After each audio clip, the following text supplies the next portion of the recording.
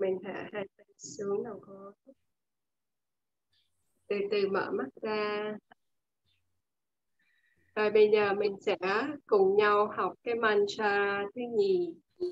Thì cái tên của cái mantra này gọi là Mangala Charan Mantra.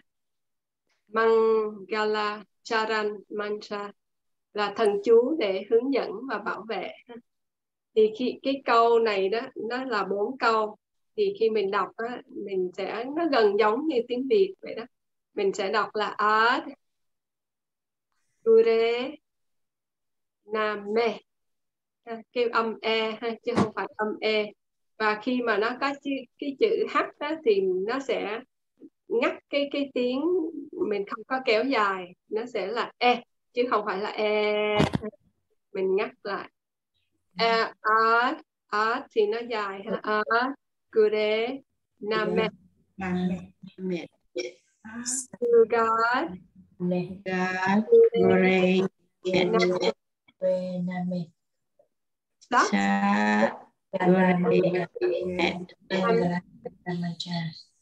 Siri. Dari Guru Dewe Namet đó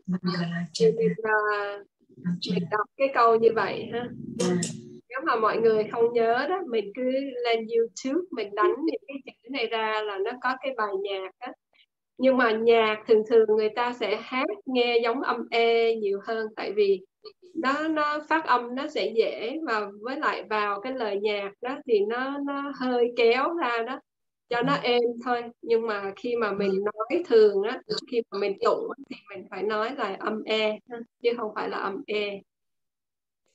Và cái câu này đó có nghĩa là à, là thở ban đầu ờ, thở sơ khai đó gure nó cũng gần giống như chữ guru là những cái trí tuệ những cái triết lý những cái minh triết. Name là mình cúi lại. À, thì cái câu mình dịch cho nó xuôi là con kính lễ hoặc là đảnh lễ hoặc là tôn kính uh, những cái vị thầy uh, thở ban đầu hoặc là những cái trí tuệ những cái minh triết từ thở sơ khai ban đầu. Jugat là qua bao thời gian Gure Name thì cũng là con kính lại những cái những cái trí tuệ và minh triết triết lý đó đã trải qua bao thời gian.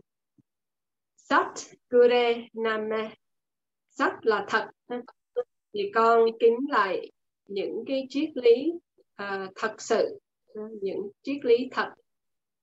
Siri là vĩ đại uh, rất là hùng vĩ rất là tuyệt vời rất là cao.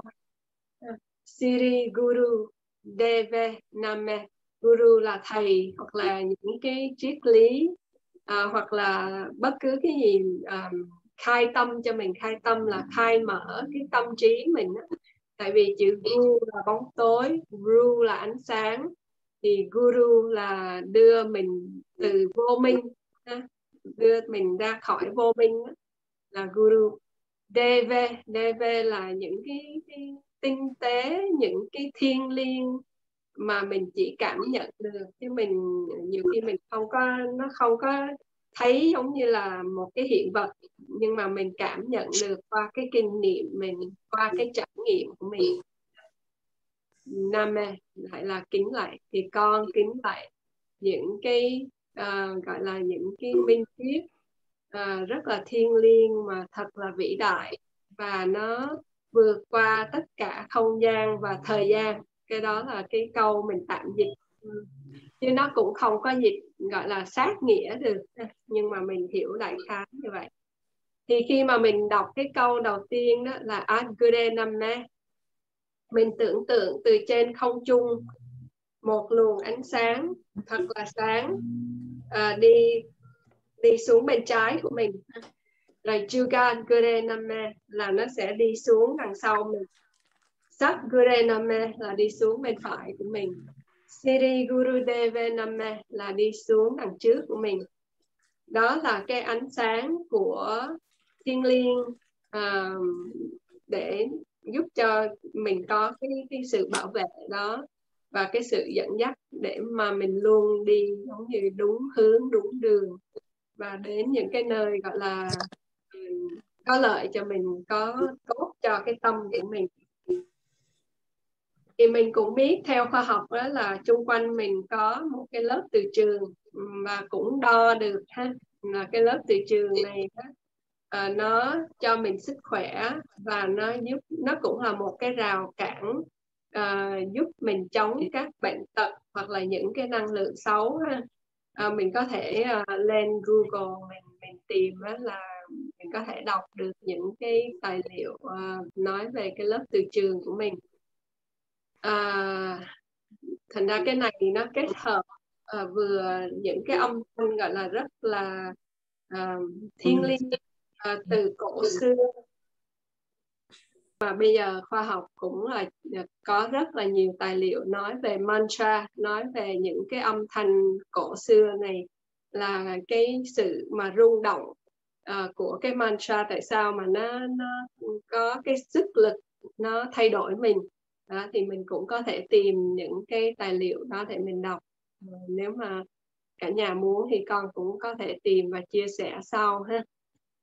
Thì cái mantra hôm nay mình ờ, đọc như cái này đó thì ờ, lúc mà mình thường á, cái câu này á, nếu mà mọi người có ai mà lái xe hơi thì khi mình leo lên xe hơi trước khi mình mở máy hoặc là mình đi xe gắn máy cũng vậy trước khi mình đút cái chìa khóa mình mở máy đó thì mình đọc cái câu này bốn cái câu này bốn lần à ba lần ha. À, Adgurename, Adgure Satgurename, Siri Gurudevaname mình đọc ba lần như vậy ha. À, thì nó sẽ giúp cho mình được cái sự an toàn đó. Hoặc là khi mà mình đi máy bay hoặc là mình đi du lịch đi xe đi tàu bất cứ đi bằng cái hình thức nào đó, mình cũng dùng cái mantra này được hoặc là mình đi tới một cái nơi nào nó mình cảm thấy không có an toàn cho mình mình cũng đọc cái cái cái mantra này để mà nó giúp cho mình có được cái sự an toàn thì cái câu này thì luôn luôn đọc sau cái câu ông Namo Gurudev Namo hoặc là uh, đọc uh, chỉ có nó không thôi giống như lúc mà mình đi du lịch đó thì mình không có cần đọc cái câu ông Namo Gurudev Namo cái câu Om Namo Gurudev Namo mình chỉ đọc khi mà mình trước khi mình tập uh, Kundalini Yoga hoặc là trước khi mình thiền hoặc là trước khi mình thực hành những cái bài mantra thì mình mới cần cái câu đó. Còn nếu mà mình chỉ là lái xe thì mình chỉ cần đọc cái câu này thôi. Dạ.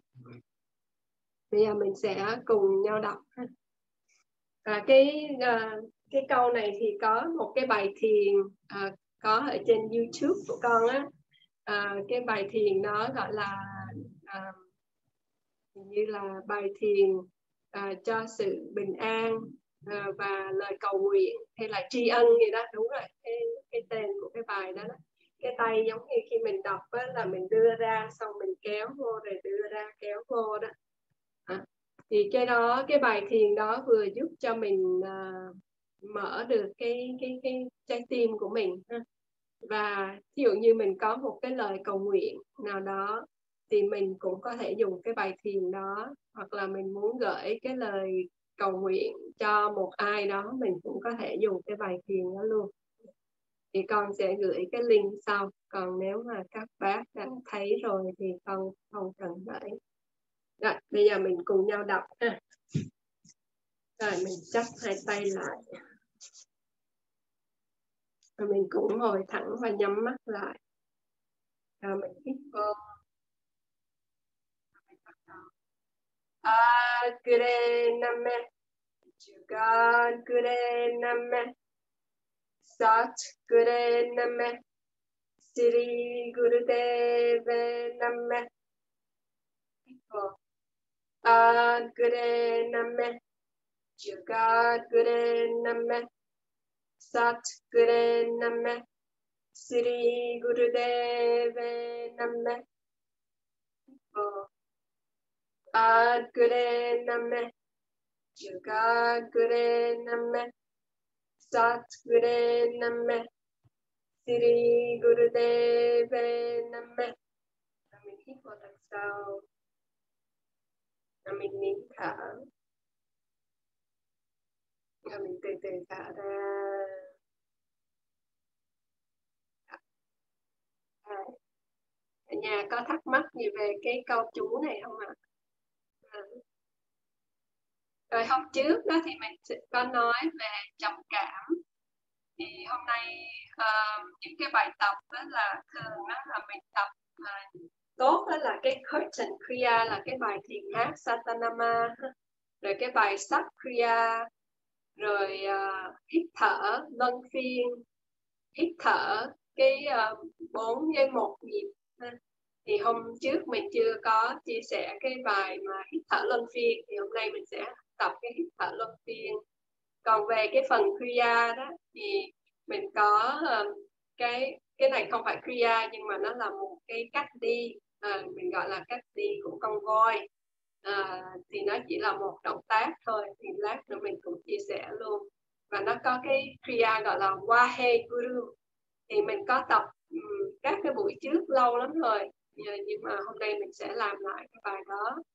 À, và à, nói chung là kriya thì có rất là nhiều kriya nhưng mà mình chỉ lấy những cái bài nào dễ tập và dễ nhớ nhất à, còn về bài thiền đó, thì có cái bài Waheguru.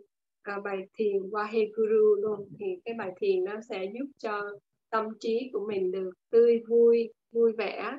À, về cái bài thiền ôn nó cũng rất là tốt cho mang lại cho mình cái sự vui vẻ đó. À, và thêm có một cái bài thiền tiếng Anh. À, không biết mọi người có muốn học cái bài thiền đó không? Rất là đơn giản và các em nhỏ rất là thích luôn. Thì mình cũng có thể à, uh, tập cái bài đó luôn. Và bây giờ thì mình sẽ làm uh, cái hơi thở luân phiên trước